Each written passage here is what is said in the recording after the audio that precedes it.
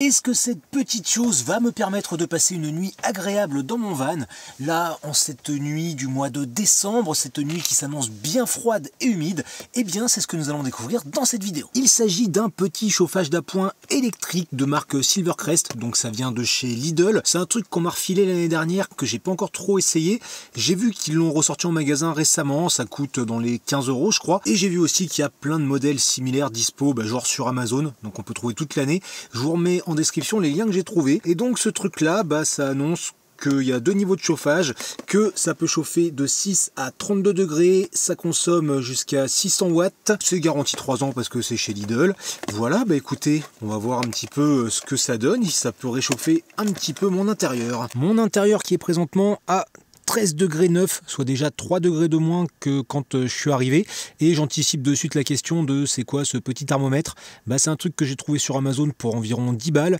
J'ai choisi celui-ci parce que bah, est aimanté, donc il se met facilement comme ça sur la tôle. Et surtout, il se recharge en USB-C. Et la batterie elle tient bien parce que bah, vous voyez, je l'ai rechargé hier pour la première fois après déjà 3 mois d'utilisation. Bref, donc 13 degrés 9 à l'intérieur. Et pour le moment, mon téléphone me dit qu'il fait 1 degré à l'extérieur, donc euh, bah, il commence à pas faire chaud. Ce petit chauffage, il se présente comme ça.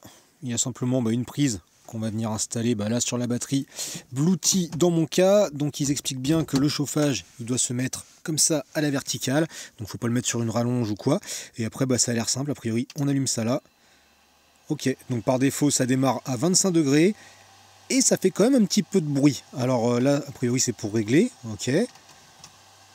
Pour le moment, ça consomme un peu moins de 700 watts. 700 watts alors que c'est marqué 600. Ok, bah ça doit dépendre de la température. Je suppose que si j'augmente... Ouais, ça augmente vite fait. Alors déjà là je l'ai mis à fond à 32 degrés. Je sens que ça souffle euh, du chaud. Ce qu'on va faire c'est qu'on va le mettre à 20 degrés pour le moment par exemple. Ça... Ah oui, donc ça on peut régler la vitesse du ventilateur, j'ai vu. Ah bah tout de suite ça fait moins de bruit. Ça me plaît mieux. Et ça, c'est une minuterie, on peut régler de 1 à 24 heures, et après le truc s'arrête. Donc vous savez quoi, moi je vais régler une heure pour le moment pour voir ce que ça donne. En tout cas, je peux vous dire que là, les 20 degrés qui me crachent directement sur la jambe droite, eh ben je sens que c'est chaud. Donc déjà ça chauffe. Maintenant, on verra dans une heure.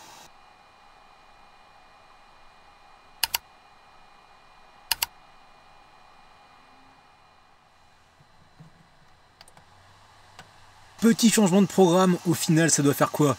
10 minutes, 15 minutes peut-être seulement que j'ai allumé le chauffage et la température est déjà remontée à plus de 17 degrés. Donc je me dis que ça sert à rien de le laisser tourner parce que sachant que ça consomme en permanence 550 watts et que la batterie est déjà passée de 80 à 56% depuis le début de cette vidéo, je me dis que c'est mieux d'y aller par petites touches. Alors là ça ventile, parce que quand on l'éteint a priori ça ventile pendant une minute pour refroidir. Et de suite, là, il y a un truc qu'on va essayer, c'est parce qu'a priori, il y a un truc à l'intérieur qui permet bah, de réguler euh, la température. En fait, si ça détecte que la température qu'on a indiquée est atteinte, le chauffage est censé s'arrêter.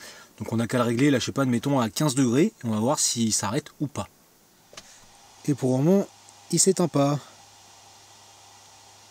Bon bah sans doute qu'il fait plus froid au sol qu'en hauteur au niveau du thermomètre, c'est pour ça que le truc ne s'arrête pas. Donc dans l'immédiat ça me paraît compliqué de tester cette fonction. Donc ce que je vais faire, bah moi c'est que je vais manger, je vais me faire ma petite soirée tranquille, puis quand ça sera descendu on verra pour remettre une petite touche au fur et à mesure de la nuit.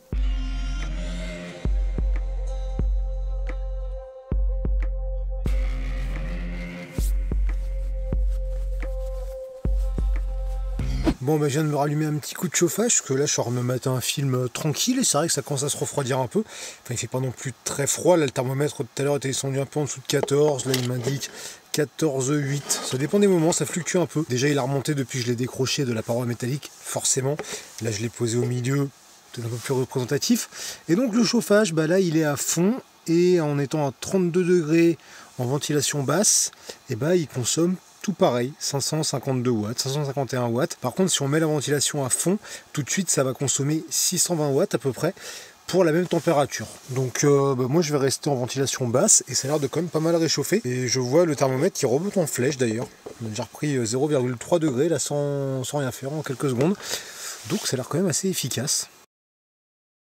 Bon, bah la température est bien remontée parce que là, je suis repassé au-dessus des 17 degrés. Alors maintenant, est-ce que ce thermomètre est vraiment fiable ou pas? Je ne sais pas. Je pense que ça donne quand même une bonne idée. Là, j'ai vraiment pas froid.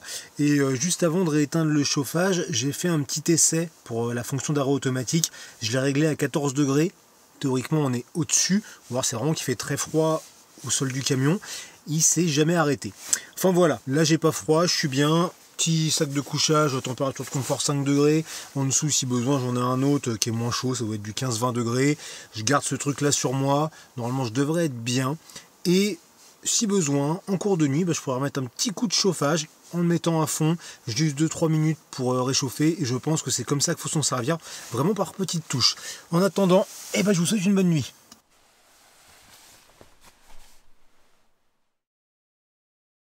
Bon, il est 6h30, se lever, parce que bah voilà, aujourd'hui, envie de se balader.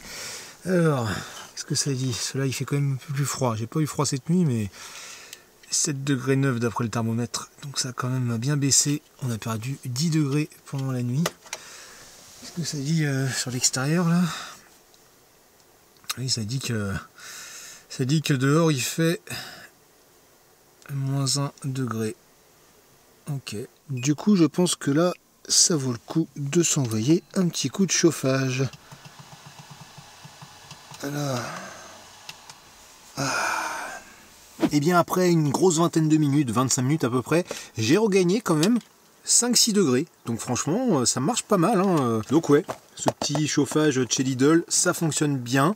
Dans un petit environnement comme ça, en tout cas, ça permet de bien se réchauffer. Là, je sens qu'il fait bien meilleur que quand je me suis réveillé. Le problème, c'est que c'est quand même pas mal consommateur d'énergie. C'est vrai qu'il y a intérêt à avoir une grosse batterie derrière. La mienne, elle est pas mal descendue, alors que je m'en suis pas non plus servi beaucoup. Alors ok, j'ai aussi utilisé ma bouilloire et tout ça, mais ouais, ça consomme quand même pas mal, mais ça chauffe vite. Bah écoutez, si vous avez des questions, sans les commentaires. Moi, je m'enfile mon café, mon petit déj, et je pars en rando.